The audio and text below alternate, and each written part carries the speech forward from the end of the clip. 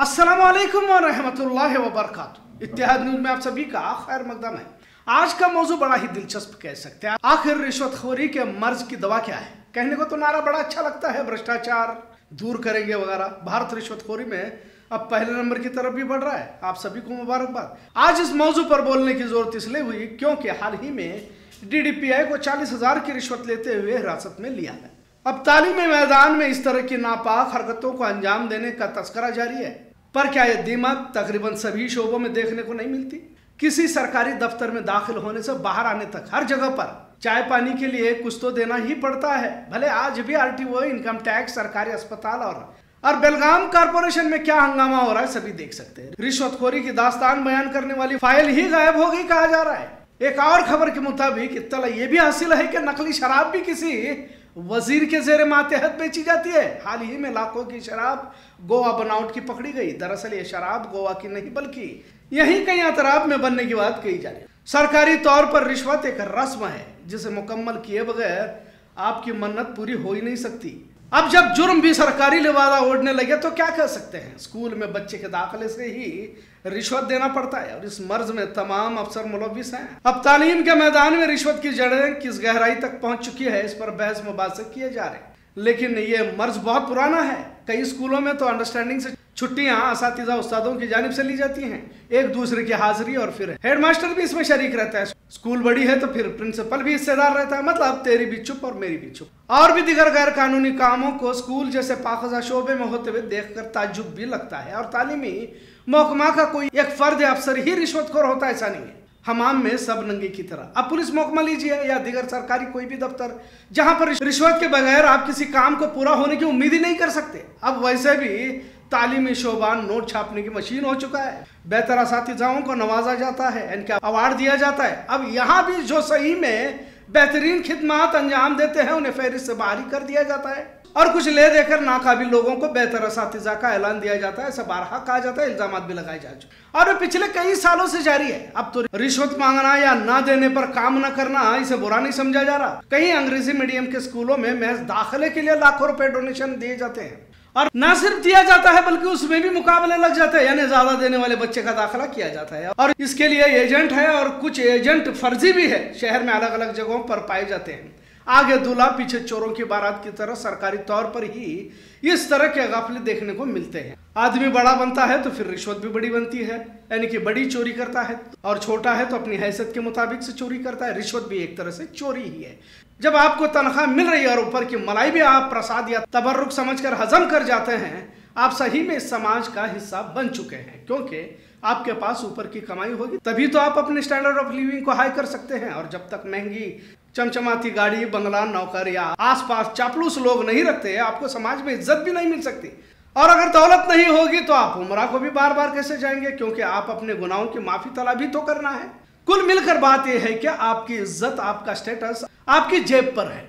आपकी जेब खाली है तो बरए मेहरबानी आप कतार से पीछे खड़े हो जाइए। आपको रिश्तेदार भी दावत में मधु करने पर सोच रहे हैं क्योंकि आप खाली हैं। रिश्वतखोरी से इंसान का स्टेटस बढ़ जाता है। खैर बड़े बड़े लोगों के बाद कुछ और होती है। जैसे मल्ल्या मोदी, चौकसी। हाल ही में करोड़ों का कर्जा, अड़ाने का मोदी हुकूमत ने माफ़ कर दिया। और ये दो तस्वीरें हैं और ये दो तस्वीरें समाज का चेहरा साफ़ कर देती है। उस चेहरे को आपके सामने लाती है। मतलब यहाँ किसान, मजदूर, गरीब एक हाथ किस्त भी न भरे तो बैंक वाले घरों के सामने इज़्ज़त उछालने पर आमादा हो जाते हैं। गरीब किसान दरख्तों की टहनियों पर फांसी लगाकर झूलने पर मजबूर हो जाता है और चोर, रिश्वतखोर लोगों के कर्जे सरकार माफ़ कर देती है। भारत में आए दिन अरबों खरबों का घोटाला कर चूना लगाकर समाज माशरे में शराफत का नकाब ओढ़कर इज्जतदार बनकर घूमते रहते लेकिन गरीब का कोई पुरसा निहार नहीं होता। अंजुम रहबर का शेर है कि जिनके आँगन में अमीरी का शजर लगता है, उनका हर जमाने को हुनर लगता है। अगर आप डाकू हैं, लुच्चे हैं, चोर हैं, जो भी हैं, अगर अमीर हैं तो आप सोसाइटी में एक स्टेटस है, आपकी इज़्ज़त है, आपके मशवरे कबूल भी किए जाएँगे। अगर आप गरीब हैं, भले आप कितना ही तकवा या परहेजगार है, आपकी कोई इज़्ज़त नहीं, और यही तस्वीर समाज में देखने को मिलती है, और इसे समाज ने कबूल भी किया हुआ है।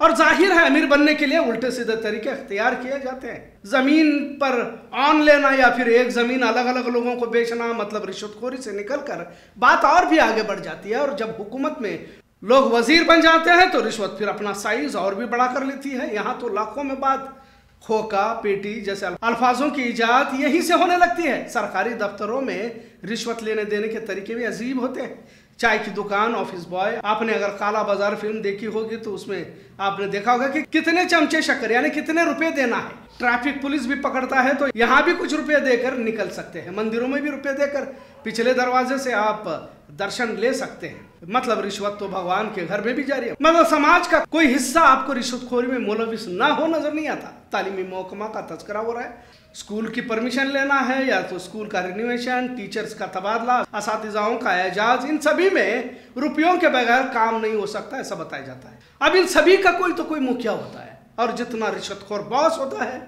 उतनी ही रिश्वतखोरी की जड़ें दफ्तर में फैलती रहती है। फिर महकमा कोई भी हो, ज़रूरत तो सभी की है और मांग भी हमेशा की जा रही है कि रिश्वतखोर अफसरान या फिर सियासी ज़ुबान में कहा जाए तो भ्रष्टाचार बंद होना चाहिए। लेकिन जो मांग करते हैं, वही रिश्वतखोरी में आगे रहते हैं अब यह मर्ज हद से आगे बढ़ चुका है। एक हाथ कोई डीडीपीआई जैसा फंस भी जाता है तो कोई फ़र्क नहीं पड़ता। कुछ दिनों के लिए सस्पेंड रहता है। फिर उसी अपने कारोबार को दुगनी कुवत के साथ शुरू करता है। और ये भी अजीब है कि दोबारा कहाँ नौकरी करना है, इसके लिए भी रिश्वत देकर नौकरी पर रुजू कर दिया जाता है। भ्रष्टाचार कहना तो बहुत आसान है। फिर अडानी, अंबानी, मोदी सरकार के हो या इसके पहले की सरकार के हो, फिर आला अफसरान से लेकर चपरासी तक ये रुकने वाला अमल नहीं है। क्योंकि आगे दूल्हा है तो पीछे चोरों की बारात है। आज का मौजूद कैसा लगा, इस पर ज़रूर कमेंट करें।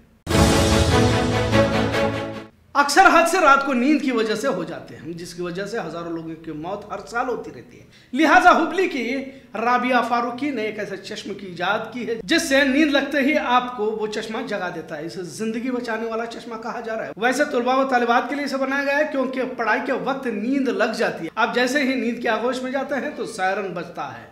और फिर आँखें खुल जाती है। रात को नौकरी करने वालों के लिए भी मुफीद बताया जा रहा है, लेकिन खासकर रात में गाड़ी चलाने वालों के लिए जान बचाने वाला चश्मा साबित हो सकता है, कहा जा रहा है।